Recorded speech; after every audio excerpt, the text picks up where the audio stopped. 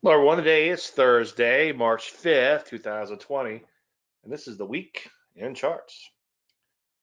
Obviously, I want to thank all you guys and girls for attending this week. I appreciate you taking time out of your busy schedule to be here. And if you're watching recording, thank you very much too. Um, by the way, if you are a member of DaveLandry.com, uh, what I have been doing is making the unedited version available so you don't have to wait for it. That date's wrong, obviously. So current market conditions, the beginning of the end. And there are a couple of sell signals that I'm going to walk you through. Same thing that I think I walked you through last week, maybe an additional one. Kind of interesting development that we actually got a longer term sell signal, the TFM 10% system, which is a weekly sell signal. We got that before we got a bow tie sell signal, which actually has not triggered as of late, but it could soon. We'll get into all that. Your question on trading, uh, your questions on trading, if you don't mind, keep them on the slides.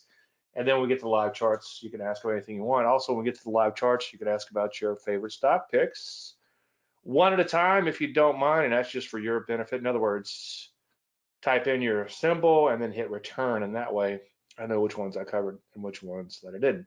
So I'm sort of going to continue on with what I've been doing, but I also want to talk a lot about surviving a drawdown and surviving a market turn and understanding markets and kind of roll that all in. Because a lot of people are kind of freaking out, not you guys, because you guys here today, you've been through all this before and you know how the, the, the game works. And it sucks, don't get me wrong, I don't want to minimize it, but uh, I was thinking before this, it's like last week or so, I was kind of, I was probably downright depressed, if truth be told, about everything. But now that I'm in the middle of writing it out, it's like I'm actually getting a little bit more philo- philosophical, especially when people are like calling me up and freaking out. It's like, well, geez, you didn't have a plan to begin with. And it makes me realize how important it is to have a plan and then how important it is to see both sides of the market and so on and so forth. And I'm gonna flesh all that out in just one second here. There's a disclaimer screen. As you know, you can lose money trading or off to summing up all predictions or about the future. Yeah, a lot of stuff can happen between now and then. And I stole that line from Greg Morris. So this is something I talked about yesterday in the Trading Simplified show over at Stock Charts. And I thought it'd be good to talk about it here too. I'm getting a few emails about what to do with XYZ. And my question is, what was your original plan? And obviously, you didn't have one. Now, the new me, over the last 10 years, the new me, I noticed, especially when I started putting together my members area, it's like I've been pretty inefficient in all this one on one interaction that I've done with you guys over the years. And I've enjoyed doing that, believe me but I've suffered from it as far as repetitive injuries and already had one surgery and might even have two or three more if I'm not careful. I'm literally wearing two braces now. That's one reason I didn't put the camera on. I don't want to look like an idiot wearing all these braces and shit. but you know, I've been a little inefficient, I think, in my teaching, and I'm trying to fix that with the Facebook group by getting a bunch of us together and in addition to that, the learning management system. So we have all the information there, and anything we're missing, we're going to fill in the blanks and fill in the holes with the Q&A. And you guys have been gracious enough to help some of the newbies out in the group, and for that, I'm, I'm very thankful. Anyway, the point I'm trying to make here is not to pour salt in anyone's wounds that's getting hurt. And believe me, I'm getting hurt too. And I'll show you how bad in just one second, at least a snapshot of a piece of how bad. It's actually much worse than what I'm going to show you. And I'll explain that in one second too. But the point I have, believe it or not, I do have one, is that, okay, so you screwed up this time. That's life. Just get educated for the next time and have some sort of plan in place. And be careful not to get caught up in the buy and hold Kool Aid. And that can happen on individual issues. I've got one client in particular has been holding Apple forever, but he had no plan to sell. And other people over the recently, more recent times, until started going down, it's like, why don't we just buy Apple and hold on? It's like, well, just because it's going up doesn't mean it will always go up, and you have to have a plan in place for every asset, as you'll see in one second. Now, as I said yesterday, it's like I read somewhere on the internet, you know, you middle-aged guys stop quoting Sun Tzu. But there's a lot of good stuff in Sun Tzu, and that's the art of war. If you haven't read it, I'd recommend you read it. A lot of it applies to trading. In times of peace, plan for war. So when things are going swimmingly, just remember that they won't always go swimmingly, as I'm going to point out in one minute. I know your eyes are probably glazing over as I say this. Markets go up and markets go down. Now, as I preach, all trades eventually end badly, especially if you are a trend follower. And by the way, the only way to make money is to what? Capture a trend. So you have to have a solid money management plan in place. Now, Apple seems to be everybody's darling stock, and this stock could do no wrong. Uh, well, until it does, I guess. And it looks like Apple has cracked for now. And what I was pointing out yesterday is Apple has formed a bow tie sell signal. Your entry would be at 277. A little bit more aggressive entry would be to follow it higher, maybe about 285 or so in its little retrace that's happening. Now, and the reason I'm showing Apple is because I'm getting questions on Apple it's like, well, what was your original plan? Where were you going to stop out? Were you going to ride this thing all the way down to zero? People think Apple could do no wrong, but go go back in history, and Apple loses occasionally 40 or 50 percent of its value. So, if you're going to buy a shit ton of Apple, be be prepared to occasionally lose half of your money. And have a sell area in mind, have an exit in mind. Don't sit around and wait for a sell signal like this one to occur. Now, the other big question is what should I do with my investments? Well, first off, there are no good investments. I would love if there was something that I could put my money into and it would just grow and grow and grow and grow and grow. But as I often preach, and I don't know who said it first, but all asset classes will lose half of their value at some point in your lifetime. And I could think of, well, go through all the commodities. Many commodities have halved in value since I've been on this planet. I've seen silver half in value, more than half in value, because I saw the bubble many, many years ago and I saw that pop. Cocoa has lost half its value a while back. And I actually made a lot of presentations about that. And it's like, hey, how stressful was that cocoa bear market? Well, not not stressful at all because most of you didn't trade the cocoa bear market. So all investments, including stocks, and then look look back. What was it? 2008. Real estate lost half its value. I, I knew that real estate would be in trouble when people got fed up with the stock market and said, "Oh, I'm just going to invest in real estate now." It's like, "Oh, geez, here we go again." Now, I would encourage you to study some simple market timing systems. It doesn't have to be my stuff. In fact, I give away my market timing, and I'm going to show you one simple little system now that I think does a pretty good job keeping you on the right side of the market. But more importantly, it keeps you from having that diaper change moment of losing half or more of your investment. Keep in mind, market timing is freaking tough. Make no bones about it. You will get whipsawed on occasion, that I can guarantee. As Greg Morris says, whipsaws are frustrating. Bear markets are devastating. You could survive frustration. So make no bones about it. Market timing is not that easy. Just look at the number of fund managers who cannot beat the S&P 500. The question you should ask yourself is where will you get out? Knowing that might be the exact bottom. Knowing that the market, as I'm going to beat the dead horse on in just one second, is a bad teacher. But you have to have some point where you're going to get out of the way.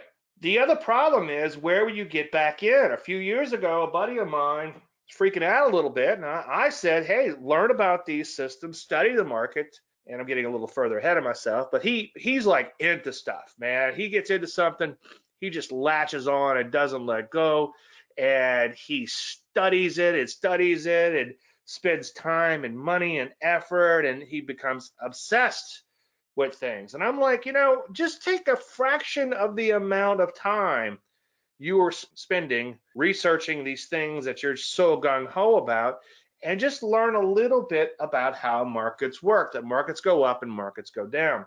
And he didn't do that. So it's like he was asking me what I thought about the market. I told him the market wasn't looking so hot. This was back in December of 2018. So he got out. Well, he didn't have a plan to get back in. So if you do get out, I never thought about that problem. The problem is you have to be willing to get back in and you have to decide where you're going to get in.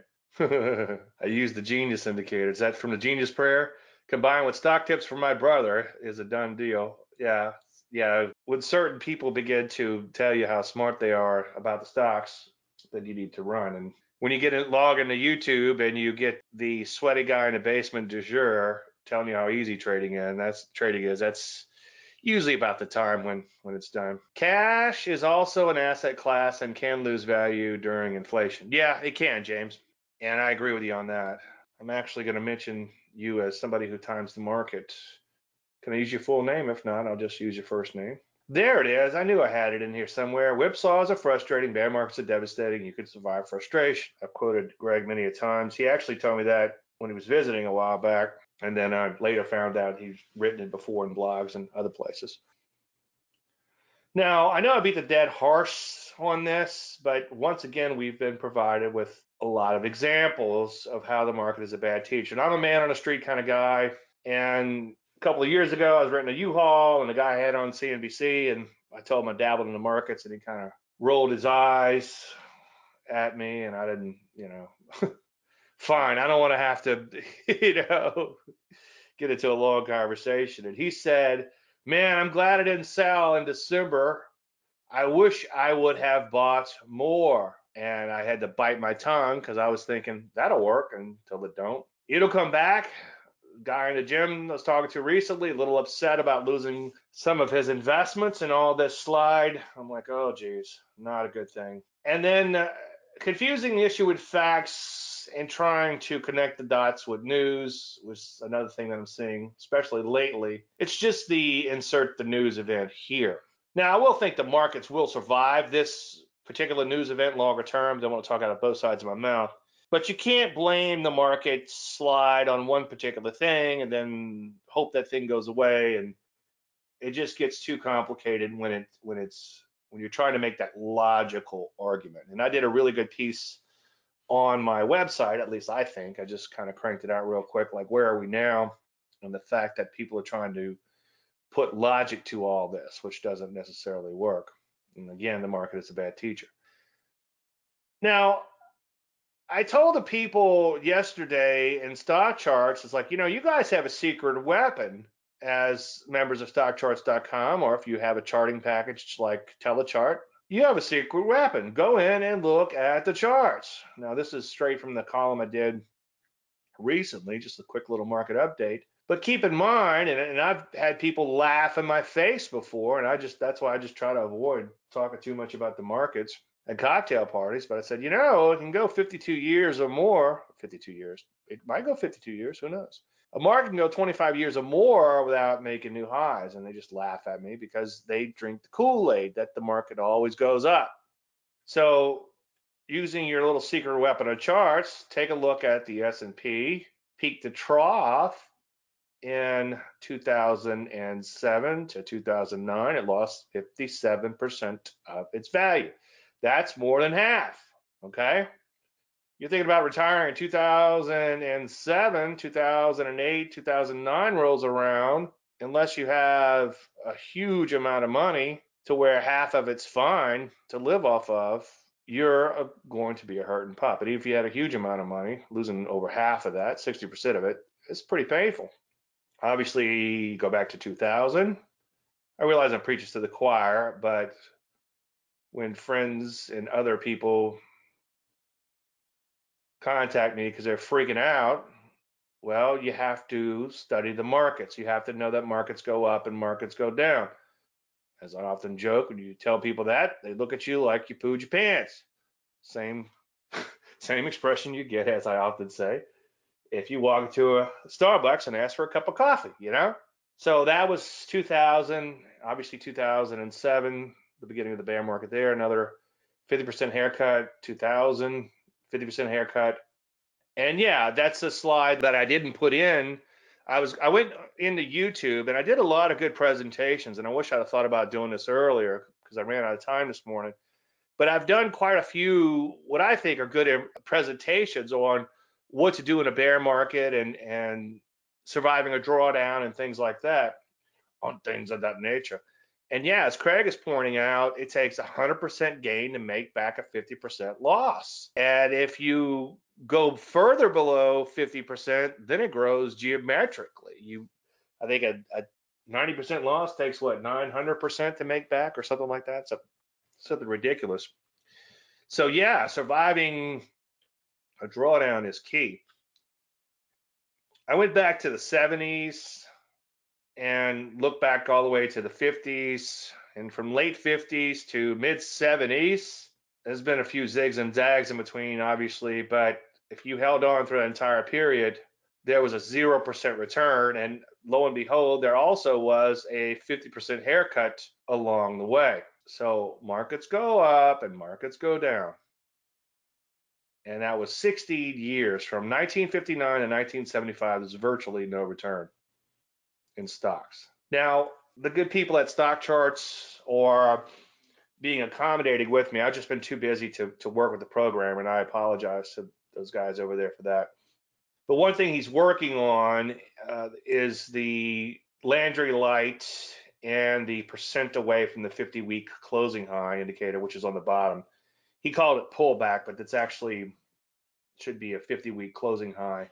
And when this thing gets above, this is the 10% line. When it goes above the 10% line, the market is in trouble. My thinking is if a market's going to lose 50% of its value, it's going to lose 10% of its value first. So once a market drops 10%, you need to think about getting out of the way. And that's just a simple little market timing system. The only other thing I require to help avoid some whipsaw is if the market is 10% or more away from its 50 week closing high and it closes below its 50 week moving average, which it did back in 2019, then you would exit the market. You would get back in when you are within 10% of the 50 week closing high and you have some Landry light to the upside, two weeks of Landry light to the upside. A little bit more stringent buy signal to help avoid being whipsawed and getting in too early. Now, Landry light just means you have two lows. In this case, we're looking for two lows greater than the moving average. This green below is green when you have upside Landry light, and it's red when you have downside Landry light. So here's the system, and when I designed this, my design, my intent was to avoid diaper change moments. Obviously, I did want to beat buy and hold as I've been preached, as I have preached many a times when talking about this system. But the main thing I wanted to avoid was huge drawdowns, such as the occasional 50% haircut that you get in the market. So this diaper change is how much further the market dropped after you exited the position. So you could see if you got in in 2003 and out at 2008, you made 48% return. And then obviously you gave up. It was actually more than 48%. You gave up a little bit of that because you're time you timing the market. And the great thing is you avoided a 52% drop in the market afterwards. Okay. And then you started buying along the way, starting in 2009. Now, we exited, or the system, I should say, exited on the 27th. There was a sell signal, okay? And I've got questions for the low of the move because we won't know what that low of the move is until we get the next buy signal.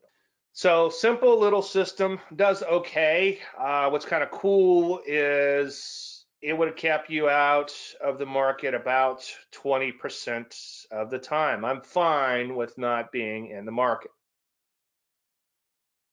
Now, the last little signal I showed you when it stopped out in, it was actually November of 2018, and that's when the guy said, Oh, I'm so glad I didn't sell. Wish I'd have bought more. it did drop 11% from that level. So let's say you had you were getting close to retirement, you had a million dollars saved up, and in about two or three weeks, you lost $110,000. That's a significant amount of money. That'll put, that'll mess with your psyche a little bit, right? So the bottom line is, and it's another one of those look at me like I pooed my pants, but know that markets go up and know that markets go down.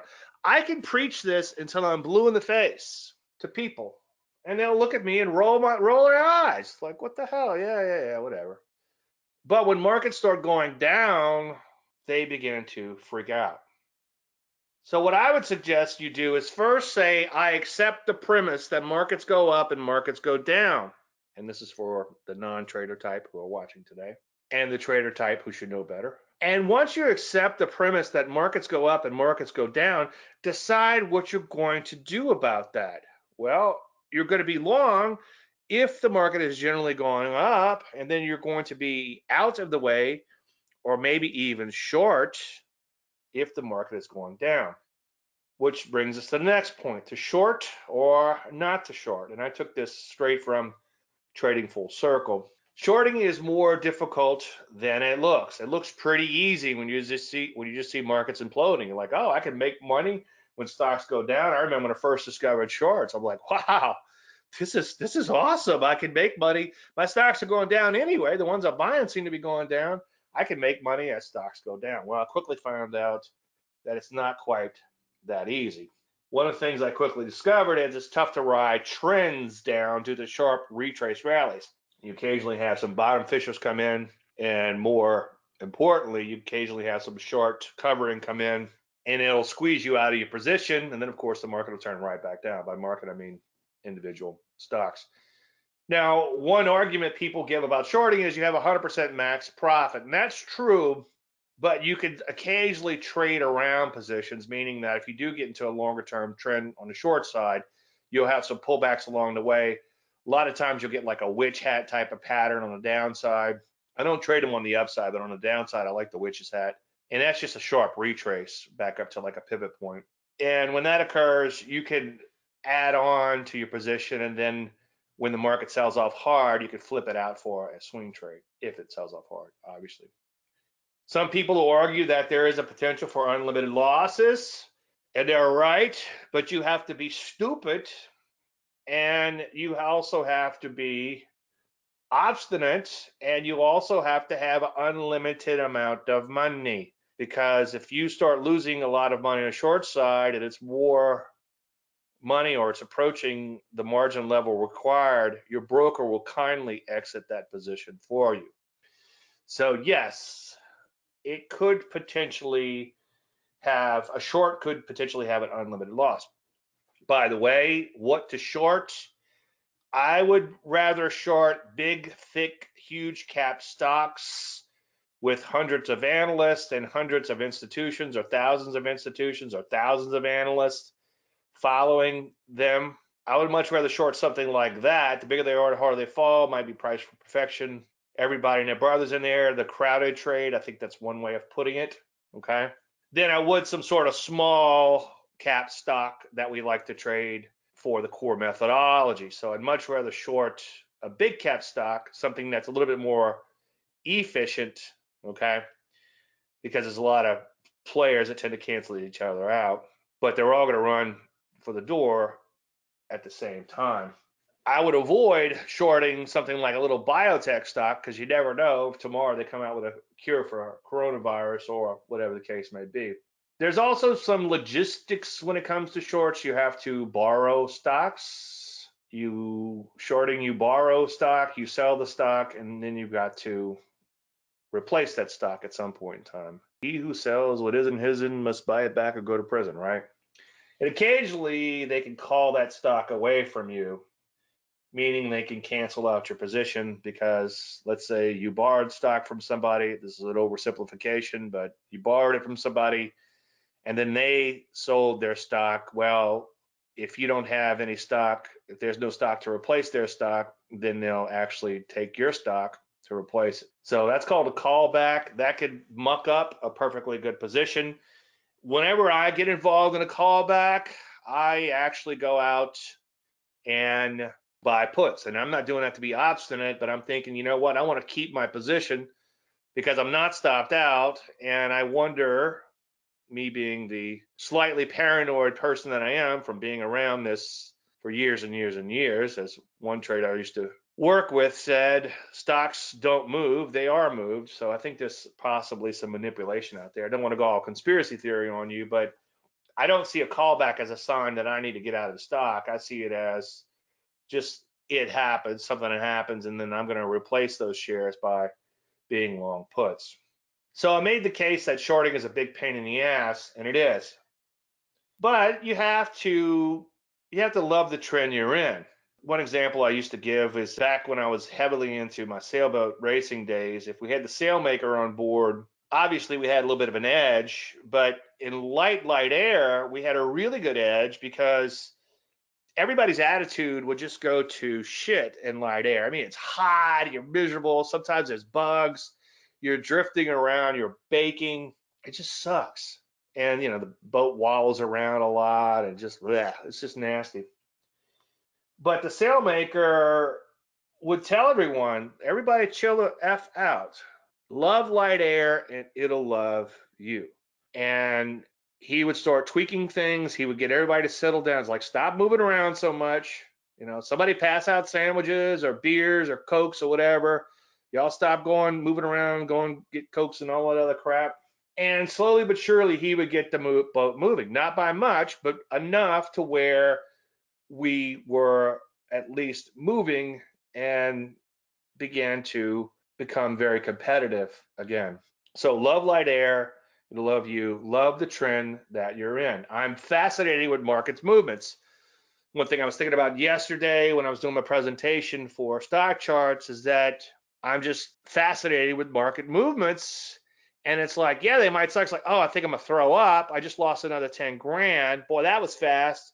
But look how fast this market is moving. This is freaking awesome. So you have to learn to love the trend you're in, learn to be fascinated with the market's movements and just make sure you don't become that deer in the headlights. Now, getting back to the shorting, it's obviously the only way to make money in a down market. But the main reason, as I preach ad nauseum, is it helps you to see both sides of the market. I guarantee you, my friends who are coming out of the woodwork and these people who are emailing me that are freaking out, I guarantee you, if they shorted stocks, okay, and were willing to short stocks, they would be able to see both sides of the market, the upside and the downside. For instance, right now, we'll, we'll take a look at it in just one second, but like Apple has the bow tie down. No guarantee that's the ultimate top, but it could be. The S&P 500 on a daily basis has a bow tie down. NASDAQ bow tie down. All these indices have bow ties down from all-time highs with the exception of the Russell because it never did make it to all-time highs. But the point I'm trying to make is if you're long only oriented, you're going to see the market as glass half full. And as I often say, and I'm not trying to throw any of my friends under the bus, but I have friends that run hundreds of millions of dollars. And just because the way their charter is set up, not because of their own preference or whatever, thing or whatever, but they're long only oriented. It, it just makes life a lot easier. There's some complications involved with shorting and, and such. And they always seem to see the market as glass half full. And a lot of times they're right because, as a general statement, markets tend to go up more than they go down. It's a dangerous thing to trade off of, okay, or invest off of, but they do. But occasionally they drop, and when they drop, they can drop really quick, as you know. So, anyway, if you're not playing both sides of the market, you'll tend to have a bias for the long side, and that's what gets a lot of people in trouble. Yeah, markets go up and markets go down, but that's fine and dandy until what? Markets start going down. So this all of this shorting stuff I put in last minute because I was thinking like how do we how do we solve for this problem of people not doing the right thing and freaking out when the market goes down? Well, one, accept the premise that markets go up and markets go down. Duh, again, applied. But more importantly, learn how to short the market so you'll see the sell signals when they occur. And I think that shorting will stop you from becoming the proverbial deer in the headlights. All right, so uh, lately I've been talking a lot about having the short term trading pay for the longer term trading. In other words, taking partial profits, trailing a stop, riding out trends for hopefully a long, long, long time. Well, one thing that I've talked about a lot lately is that as a trend follower, and I'm borrowing a line from the Fortune's Formula book, which was a good book, but be damn careful if you even think about using the Kelly formula. Kelly formula is based on the fact that statistics work in the market and markets simply aren't normally distributed. If you knew you had an edge in the market and you were a thousand percent sure that you would always have that edge and that edge would work out, then by all means, sell the farm and put all the money into the market. Unfortunately, as you'll learn quickly in this business, markets are not normally distributed. There's a lot more fat tails that occur than should occur. A market shouldn't lose half its value every so many years, but it does.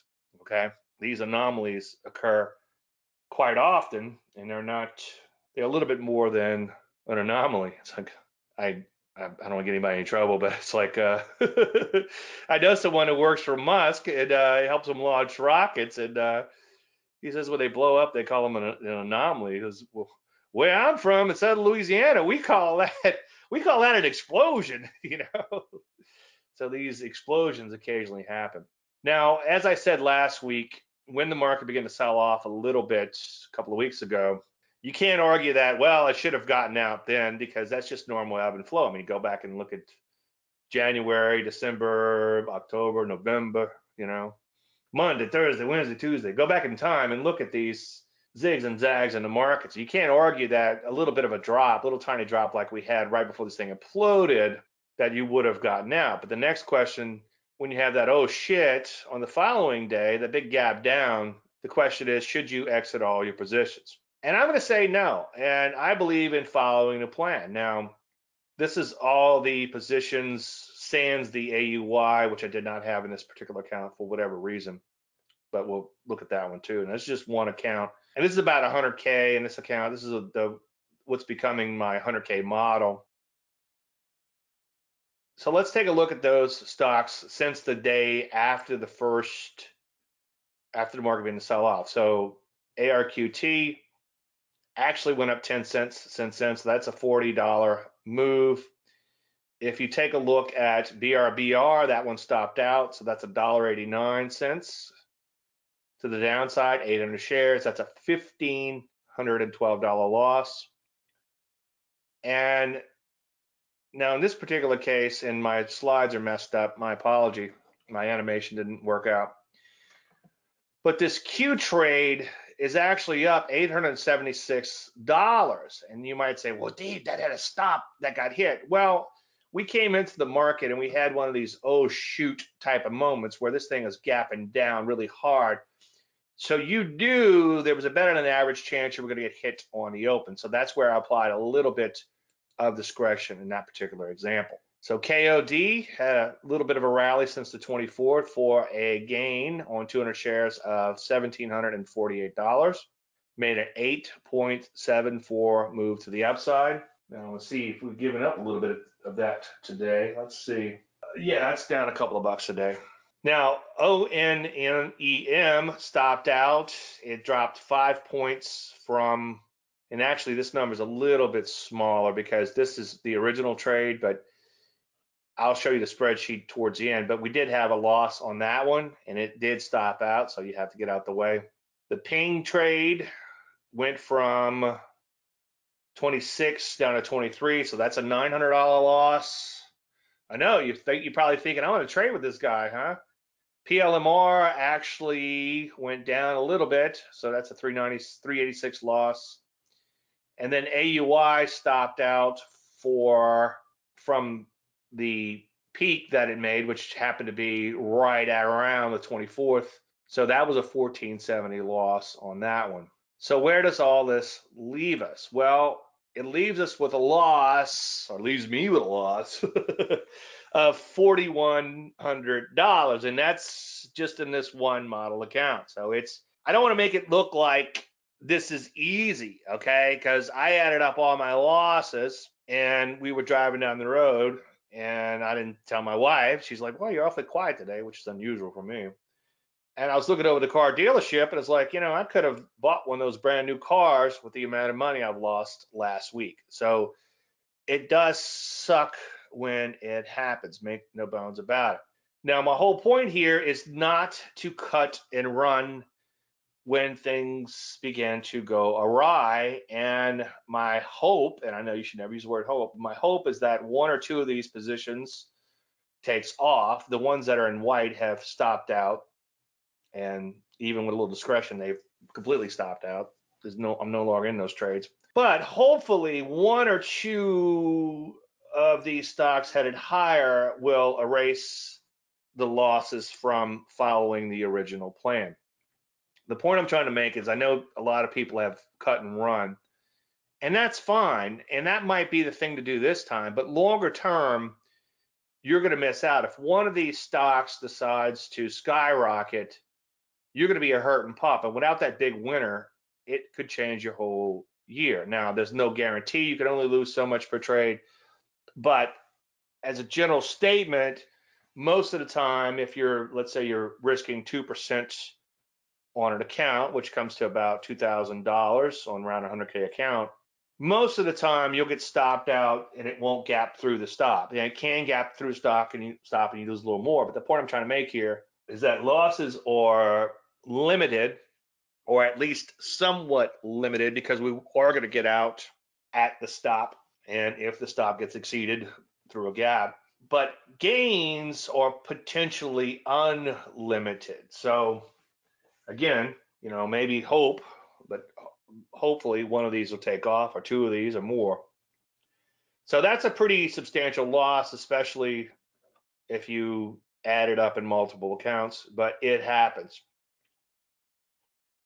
Now, some random thoughts left over, some left over from last week and surviving a drawdown. If it were easy, everyone would be doing it, right? I would urge you to stick with the plan. And, you know, I'm kind of anxious to see how this thing's going to come out the other side. So I had all these positions coming in, and I want to see what's going to happen just by following my plan to see how it all turns out in the end. And and I hope, and I know there's a word again, but I hope that one or two of these takes off and I make back all that money and then some. And I give you a great example or provides you a great example of just following the plan. Even if it doesn't work, longer term, following the plan is the thing to do. Now, open profits are getting decimated, especially from a pre-sell off area. So that $4,000 number, believe me, that's where buying the car came in to my mind. And minimally monetizing is a very dangerous thing to do, but we're all guilty of that. We know that. You just have to recognize when you're doing it and not play that game. So open drawdowns suck. But again, you never know which position could turn into the mother of all winners. Now, this is a hypothetical, I suppose, but it's like I was long a little coronavirus stock, got long before the coronavirus scare came into play. And unfortunately, I got stopped out of the stock. But on subsequent days, it rallied about 50 points. Well, do the math in your head 50 points. Let's say you just had a thousand shares, that's $50,000. That's a lot of money. So just one big winner will pay for it all, as Ed Seykota once said. He actually sings it. He has uh, the Whipsaw song. Maybe listen to the Whipsaw song might be the solution for my troubled friends. So let's see how the dust settles with all this. It could suggest that micromanagement pays, and I see I've seen a lot of people just get out the way, and I'm not a big fan of that. I'm a big fan of following the plan and see what happens. I did go back in time and looked at some drawdown presentations I've done in the past. And in one of them, the portfolio had a couple of losers in it and a couple of small winners.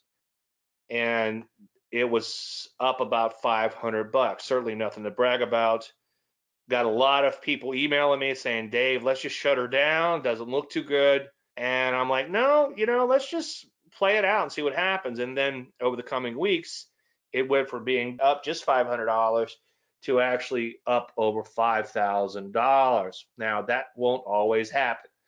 And this might be a case where it didn't happen, but longer term, following a plan is a thing to do. One of my problems is I tend to look at the equity, meaning how much I've made a loss on the trade to determine, hey, am I getting close to that profit target? Or hey, am I getting close to that protective stop? The better thing to do, which causes a hell of a lot less angst for me, is to just look at the charts because sometimes a chart will pull back and look still look pretty good. But if you're looking at how much equity you lost, it could mess with your psyche. It's kind of like don't think about elephants, right? You can't get out of your head. Now, opening gap reversals, or as we call them, ogres now, they really haven't paid off lately.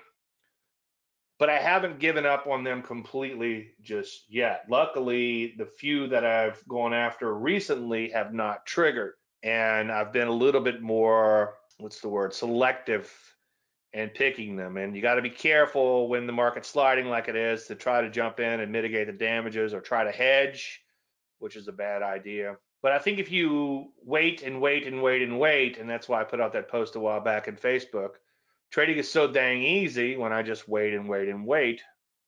And then I go in and do the Jimmy Rogers trade, as I often say, beat the dead horse on that, right? Wait until there's money lying in the corner. All I have to do is walk over there and pick it up. In the meantime, I do nothing. Well, I need to get back to that mode with the opening gap reversals, and I think I'm there now. I get my ass handed to me trading these opening gap reversals, and then when I go back and look at it, I realize that, and, and you know, I thought there'd be one presentation where I wouldn't quote Seykota and Rogers, but I guess this won't be it. But I go back and look at these opening gap reversals where I lose a lot of money on them, and I'm like, you know what? I, that was definitely intuition meaning trying to make something happen versus intuition. I've said that so many times, people start to quote me as saying that. No, that's Ed Seykota who said that. You know, one thing I've really been thinking about, and and there's actually psychological proof of this. If you read a, a little bit of Dr. Robert Maurer, he wrote a book called Mastering Fear, which I'd recommend you read. And I need to reread that one. It's a little short one. But he also did one called The Kaizen Way, which is a fantastic book. A lot of things, it's not a trading book, but a lot of things will flow over into trading. And when I saw him speak, he was speaking at a conference that I was speaking at, oh, geez, probably about five years ago. And he said some really interesting things. And basically, he was saying that we need one another. And he went into details as to how that works. So it's very important to have some sort of support mechanism as a trader because trading is a very lonely sport and you'll feel really abnormal a lot of times, especially when you're losing money. And if not that misery loves company, but if you could interact with other people, it'll make you feel a lot more normal. And that's I'm I'm really stoked at how well my Facebook group has has taken off. I never dreamed it would I, I, thought I would just go in every day and say, hey, this is what's going on, and uh, maybe get one or two comments, and that would be it. And people would wait 24 hours for me to come in and say something else. But you guys have really raised the bar on this thing and doing a lot of interacting. And you know, uh, Jim Freeman in here I was just talking with earlier. He he does some really cool market timing. He looks at a lot of short term, like hourly and half hour charts, and and you know, he was calling his top long before it ever happened.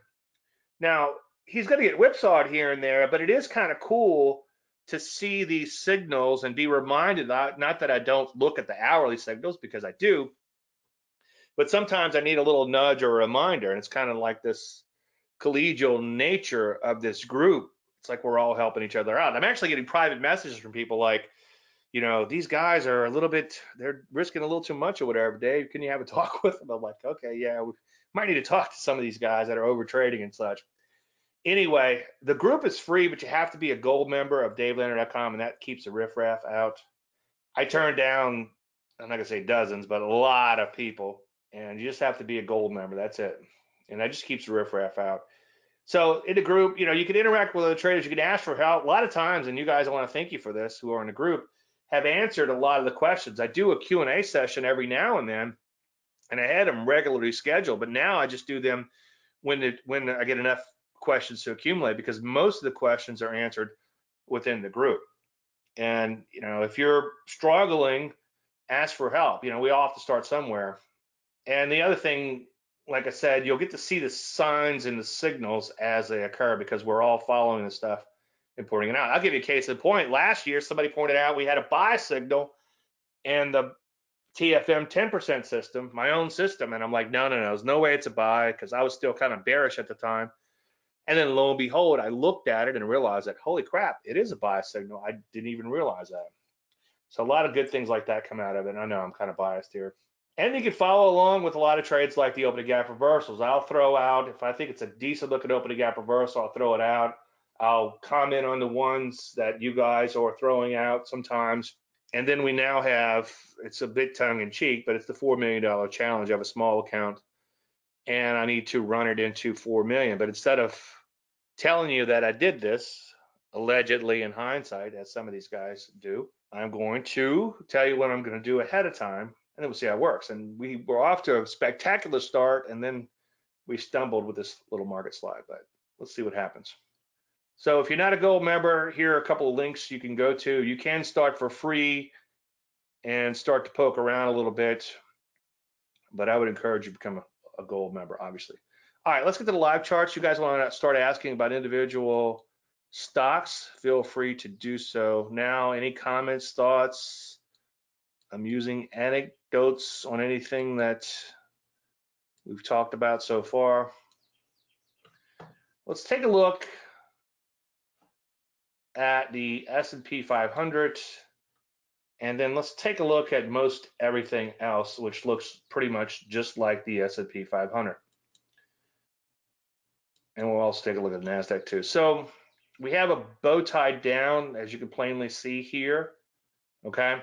Now the other night I was recommending a short in the service and I said it was a bow tie and a first thrust and somebody said Dave I don't get it. I don't think it's a I don't think it's a, a bow tie and they were right. I just assumed that everything had bow tied down. But the the thing is, just it's just semantics in a case like this. When the market drops this hard, this fast, it's a first thrust, and a lot of times that bow tie gets forced to happen. Okay, the the the designer's intent of the bow tie was to catch a gradual rollover in the overall market. So you think, well, the market's pretty good. It's not too far away from all-time highs.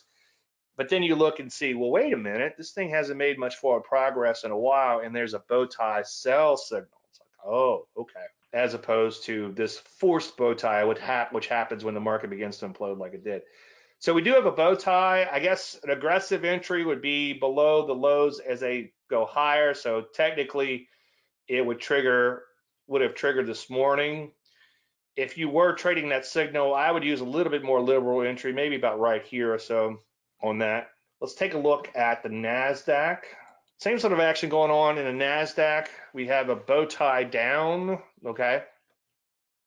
So this could be the beginning of the end. As I've been saying, the main thing to watch for, and let's see if we can get a, let's go back to the P's just because it's well watched. And this is the point I was trying to make, and hopefully I made in my little market update that I did. So we had the big slide obviously. So we're up here at all time highs. Everybody's feeling pretty good. My little buddy from Mississippi. I'm making 1K a day, my 401K. Okay. now he this morning he texted me a, a video of a roller coaster. I'm not making fun of him. I'm just saying, you know, it happens. So we had this big old slide here. So this is the thrust down, obviously. And then now we're in the retrace. Now it's what happens next that's important, right? So you have the retrace rally, and like I wrote in a little article, does it go up or does it go down? Well, the trader play would be to play the downside, but only on entry, which would be triggering now for the aggressive and maybe a little bit later for the less aggressive. And that's the important thing to watch. I mean, at, at any rate, it's it's bumpy in here, right? But so far, it's kind of unfolding in a, I wouldn't say a textbook manner, but a somewhat textbook manner in here. So watch this retrace rally. Ideally, I'd love, you know, here's the thing. I short and people sometimes get mad at me because I short or oh, you're always bearish. It's like, well, no, the market's going down. So I have to be bearish. I'm a trend following moron. I'm not outsmarting the market or being a pessimist. I mean, shit, I was going to be a pessimist, but I figured it wouldn't work out, right? GHT, Stephen Wright. Anyway, let's say the market did magically go all the way back up, which I'm hoping it does, right? Okay. Well, one big concern here is by the time you get all the way back to new highs, shit is flying in here. By the time you get all the way back to new highs, the market is very, very, very overbought. You will have some people looking to get out of break even. You will have some shorts that are thinking, hey, you know what? I'm going to go ahead and pile on this thing. So a lot of things will happen if you have that big old V-shaped recovery. Now, a couple of other random thoughts in my head. I think, and I haven't done the studies on this, I think I just have gone off of other people's studies or seem to remember other studies, that election year, and I guess the incumbent is has power to help manipulate the markets, but election years tend to be positive years. If somebody want to do a study on that or do a Google on it and let me know. So I'm wondering if there's going to be some potential or more, I should say, manipulation to try to get this market higher. We did have the Fed cut rates, which was good for a slight rally in the morning, and then the market came back in. Okay, yeah, we'll get to those questions. Good questions. Well, since gold, it's the next one up. Craig wants to talk about gold versus the dollar. Well, gold is dollar denominated. Okay, so you just have to look at gold in and of itself. So gold is headed higher. The dollar, something wrong with the dollar in this IntelliChart. It looks a little different elsewhere. But let's assume the recent chart is correct. So dollar has been headed down. As the dollar goes down, it takes more and more dollars to what? Buy gold. So gold is having a decent little rally here. Gold kind of sucks because it knocked us out of our gold positions and then it turned around and went right back up. Well, it happens. Before I forget, let's take a look at the Rusty. The Rusty has bow tied down.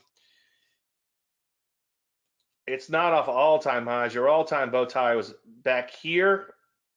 And then we had a pretty serious slide from that, as you can see. So that was nothing to sneeze at. If you were trading this ETF or if you were holding on to a bunch of small cap stocks back in December of 19, that was pretty ugly. But now we have a bow tie down. What's concerning is we took out or we pushed through all of this support here, okay? You're still in AUY. Were you the one that was complaining about AUY? Did you follow your plan? Should you still be long AUY?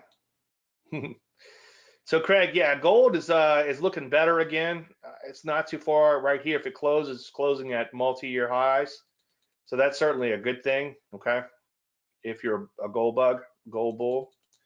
So we could see some buy side setups again soon in gold. As you go through these sectors, there's kind of no place to run, no place to hide. Metals and mining overall, as you can see, downtrend with a few exceptions. Gold stocks coming right back here, roaring back. Okay. Now that would have been a good example. I was thinking about that earlier today when I was getting ready to go live. The the AUY stopped out, but it would have been a great example of why we st stick to positions. I know it's uh, we're talking about all these hypotheticals, but if the AUY would have not stopped out and gold goes on to make new highs, that would have been a great example of following the plan. Silver doesn't look quite as good as gold. You can see it looks like a top is in place with silver. You know, I, would hate to try to play that game, but maybe short silver and go long gold. You know, that might be a that might be a play. Consumer non-durables really not doing that great. You would think that consumer consumer non-durables would get a bit of a bid given the news and all, but so far, nope. And as you go through these, even the foods, you would think, hey, you know, people still need food in the bear market, but foods are looking pretty ugly in here. Banks have been in a slide. Banks were in a slide long before this happened, but you can see they're banging out new lows with vigor. Insurance not looking so hot in here. We have an insurance stock as a possible short today. Real estate not looking too good.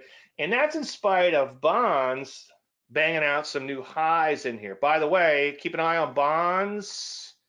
If they gap to all-time highs and start coming back in, maybe take a look at, is it TMF or TMV? TMF. Which one goes down? No, TMV. Take a look at TMV, okay? So TMV gaps to all-time lows, then TMV might be a good opening gap reversal type of play, okay? For the little bit more advanced trader. But as you go through all these sectors, even like health services, you think would be doing pretty good given this coronavirus scare. Biotech has actually done okay. Now, I'm kind of a bull in biotech, and I'm not a bull, I'm not a perma bull. I'm just, I know I'm long a couple of them, and that might give me a little bit of bias. I got to be careful of that. But in general, there are some isolated stocks in biotech that are occasionally doubling overnight and more like the little coronavirus stock that I just missed. Boy, always you're always that close, right? Going up 50 points. So there is biotech's doing pretty good, especially on a relative strength basis. Now, I don't believe in relative strength trading in and of itself, but it is kind of interesting to, to note that the biotech stocks are really hanging in there. Health service stocks, not so much. As I just said, bow tied down, big retrace and then defense and manufacturing, and then the home builders and material construction overall. Pretty much all these areas look like the overall market itself, so nothing earth-shattering here. Apple, or as some people call it, computer hardware, and I make that kind of joke because most of computer hardware, Apple is so big, Apple makes a big component of it. Computer software, you need software if you got hardware, right? Big bow tie down. So I know I shouldn't bore you and go through all of these, but I guess it's too late. Semiconductors, bow tie down. We have a semiconductor on our radar as a short. But here's the deal there are a plethora of shorts, and I've got a plethora of orders in right now.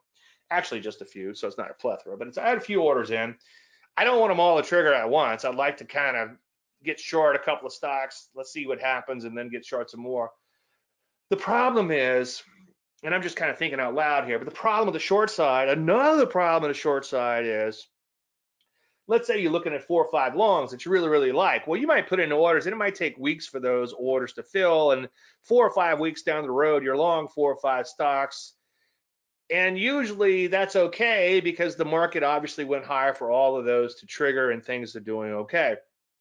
The short side, it's like everybody rushes through the door at the same time. So it's like if you're looking at five shorts, you decide to go out to five shorts, you get short those five shorts all at once, all within the same five minutes. And then, you know, big retrace rally comes along and kind of mucks up your position. So, big no bones about it. Again, shorting is not an easy thing to do. And I much rather the long side. If you can't short, would you suggest going long an inverse ETF? As a general statement, I would say no all inverse ETFs will eventually go to zero, okay? So over the short term, I would say maybe, but longer term, I just pulled up a random one here, SPXS. Where was SPXS? It was at 8,175. And now where is it? It's at $15. But Dave, that's not zero. Well, what happens is when they get really low, they reverse split them. So if you you think, oh, I'm just going to buy one of these inverse ETFs and sit on it, well, they're going to reverse split you to death. so I wouldn't recommend hold, recommend holding these uh, overnight. What happens is they're forced to short at lower levels, and they're also forced to they their goal is to to track the like the day change, the one day change, okay? And it's not like they're they're they're looking at the S&P for 3 months and trying to match the 3 month performance. So if you got in one of these and then the market tanked for the next 3 months, you might actually not even make money because they're not trying to mask that performance or not or match that performance, I should say. They're trying to just match the day the daily change the one day change, and that doesn't work out longer term. And you could experiment a little bit with the math on that to wrap your head around it. So I wouldn't recommend any inverse ETFs, especially leverage inverse ETFs, to be held overnight. So I mean, if you wanted to take a small position in something, that's fine. I'd do it on a non-leverage ETF. Is it was like TWM maybe or something? You know, I don't know. But longer term, they're all going to go to zero. Okay.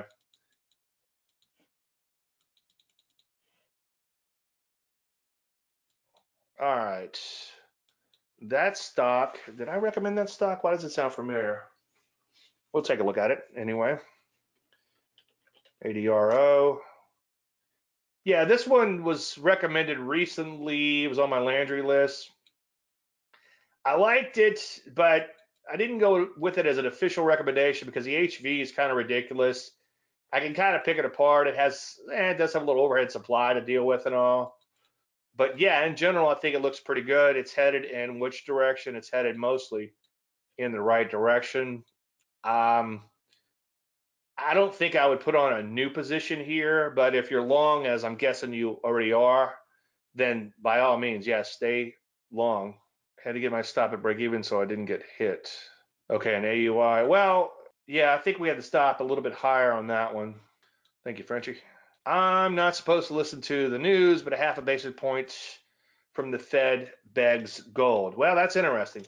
Yeah, you know what? What's let's take a look at that. When did they they cut the rate? Let's take a look at the P's. SPY. So they cut the rate on this day here. By the way, uh, Connors used to do a lot of news stuff. And one thing he talked about was big picture news as opposed to like intraday news reversal. So the system there is when the, I think it's like when it takes out the close. So let's say there's a close there, 3 2. There's your news day. When that close gets taken out, you would go short.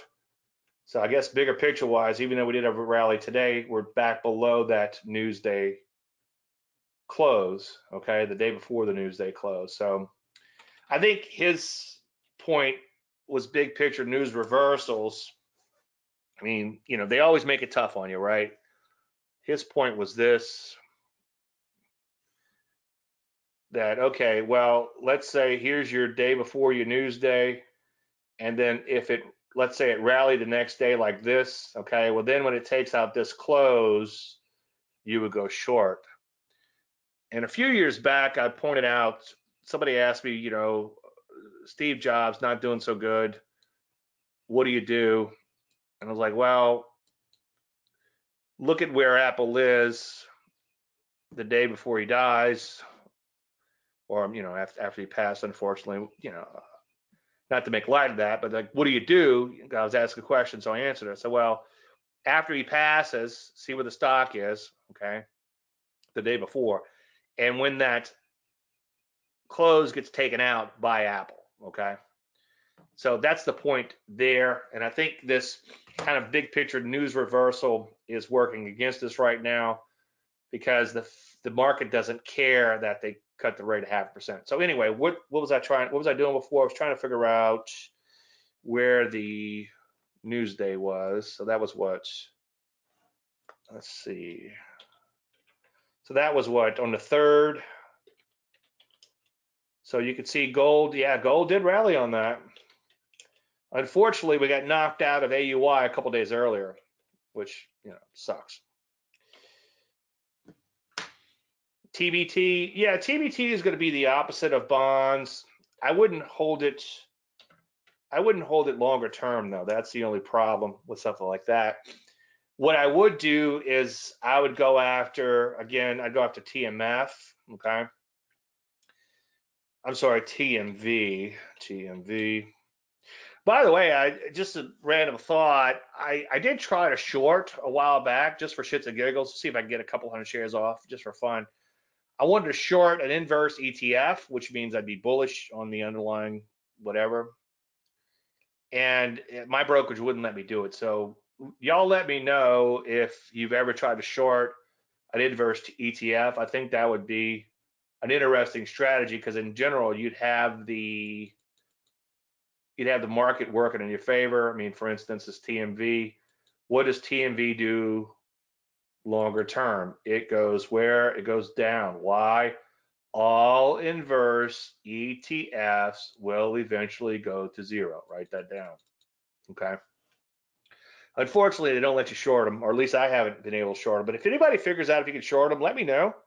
I'd appreciate that. I'll give you a high five. Yeah, so if you come in tomorrow and this TMV is way down here somewhere, then by all means, look to play that opening gap reversal. Well, you're up 23% on AUY. Well, if you violated rules, then the market has taught you to do the wrong thing. But if you had a plan in place and followed your plan, then good job. Travel stocks are getting creamed.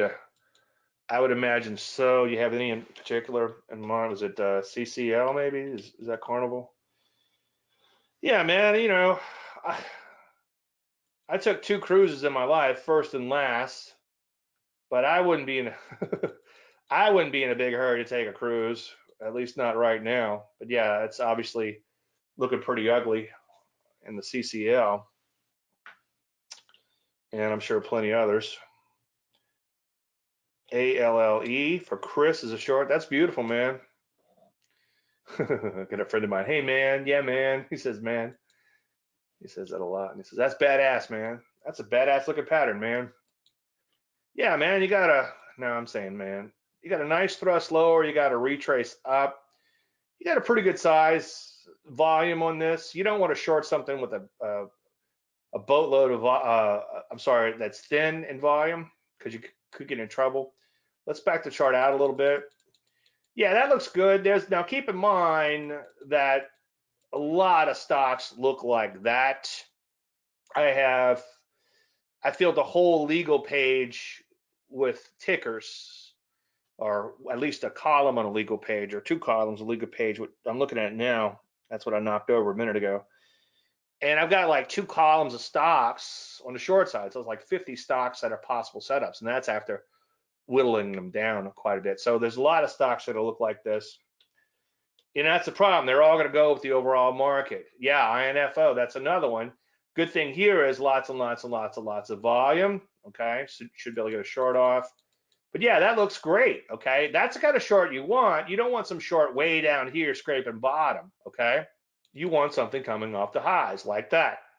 And that looks good. Okay. Now, don't rush out and short a biotech, right? I'll show you why not. Okay. Look at that. Okay. Look at that move. That's huge. This is the one that I was long down here at 20 bucks, and then I went to 70. And I dropped an F bomb or two, maybe three. LOL, you're right. Everything is a first thrust. You have to be careful. Yeah, you know, and it's all gonna. That's the problem. Everything goes at the same time. You know, it's like you almost feel like you need a little exposure to the overall market, but you know that's a that's a tricky game. That's a tough thing to do. But right now, that looks like the side you want to be on, at least for now. And again, we really hadn't had the fantastic opening gap reversals lately. I did violate my rules. I think on the Fed day, I did end up going long or short, I should say, long the SPXS. I might have done a little bit, did okay on that, but not fantastic. But yeah, it's it hasn't been an easy market as of late, in case you're wondering. And that's the other thing of having a group of traders together is that we can talk about it. It's like, hey, you know, am I the only one getting my ass handed to me out here? you know, and it does. You know, it's very important to keep your mind in this business because it's it's pretty easy to lose it.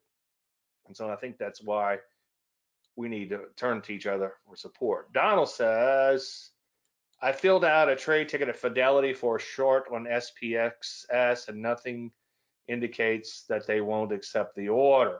Yeah, but click into it, okay? Actually make an order you know, do a you know, if I don't want to, I don't want you to lose money or anything, but if you want to do a 100 shares or something, SPXS, uh, let's see. Well, I don't want to, I don't want you to lose money. I mean, they'll, you know, they'll, they'll take the order, but they won't place the order. I don't think. Nice little trend there. All right. Any additional, any other questions? Any stocks you guys want to look at? Anything you want to talk about? You have me here. Got a few minutes left. While we're in impasse, obviously I want to thank everybody for coming. I appreciate you taking time out of your busy schedule. looks like some people are starting to find the show again, so I'm excited about that. If there's if you are having trouble finding the show, if you're watching the recording, let me know and we could we could try to figure that out. I don't know what happened. Seems like there's a disconnect from a while back where everybody would show up and then now it's like we're not getting as many people as we used to. So we got to figure it out. All right, going once, going twice. All right, thanks everyone. Everybody enjoy your weekend and you guys that are in the Facebook group, I'll see you in a few minutes. Thank you so much.